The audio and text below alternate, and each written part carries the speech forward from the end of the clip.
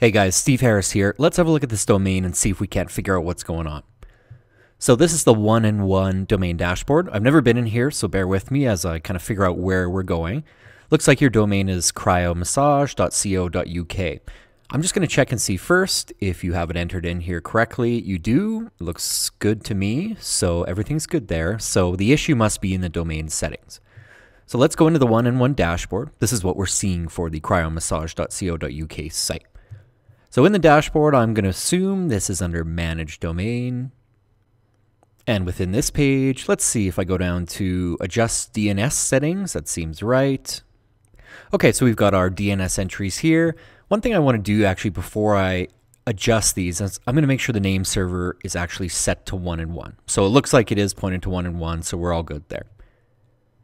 Okay, so let's go through these entries and see what's going on. So first of all, I see an A record and it is not pointed towards our server. So if you look at our custom domain setup instructions, they give you two A records or two IP addresses to enter. And this at symbol just means we want these applied to the root, basically your domain without www or anything like that before. So looking at the dashboard, let me just move this into place. This setting is not going to work. So I'm just going to edit this record. First of all, I'm going to change it to be one of ours. So let me scroll down on this page where I can copy and paste those records. Okay, there's the first one. Let's copy that. Okay, paste in there and click save.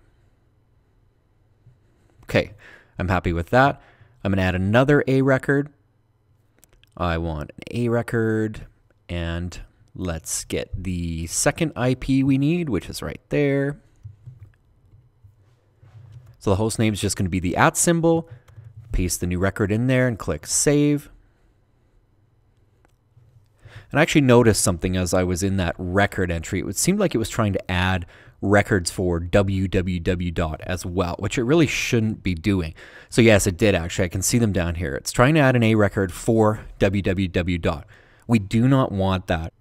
We need a single CNAME entry for that www. This is not going to work. So I'm actually going to delete those out.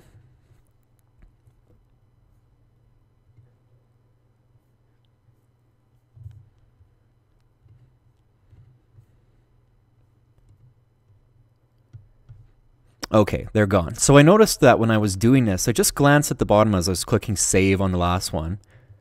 Let me make an edit to this just so I get that option back. Yeah, it's not going to give me the option back. Let's create a new record and I'll show you what I saw.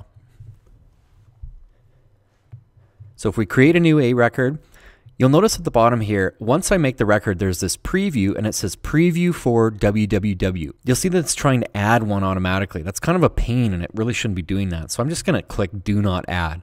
So if you're entering these in one and one, just remove this option. That's kind of a pain. So I'm gonna cancel that. Okay, so I've got my two A records. Those look good.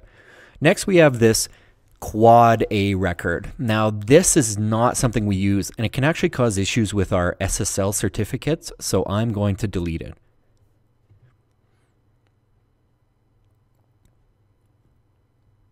Okay, we're good to go there.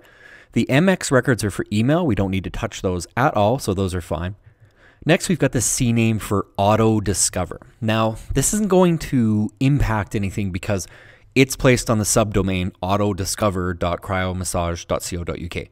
So I don't think we need to touch this record at all. Next, we have this another of these quad A records, and I'm going to delete that out.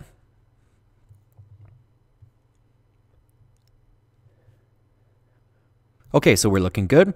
The last thing we need to do is enter the CNAME, which is an important entry for our service. So we'll go to add. Let's click on a CNAME. Host is www points to, we're going to snag the s.multiscreensite. Let's see, where can I get it here? Right there. Copy that, paste it in there, time to live is fine, and click save. Okay, so that's all looking good to me. We've got the two A records pointed at the root. We've got a CNAME on the www.subdomain, and we should be good to go. So we'll just let this update throughout the web. Actually, you know what? Let's check it right now. We'll go to DNS checker. And let's see if we go to cryomassage.co.uk. Let's check the root. So without www, we're going to check those A records. So it looks like it's already pointed to our service. Now, if we check www and look at our CNAME, yeah, it looks good. It's already updated throughout the web. So the big test, let's copy the domain. let's try to go there. And we're good. There it is. So the site's live within seconds of changing this. And it's just a matter of lots of old entries that the domain provider put in. Some things they tried to put in automatically, which weren't helpful. You just need to make sure that your DNS file is nice and tidy like this. A couple A records on the root, CNAME on the www. That's it. Good to go. Thanks.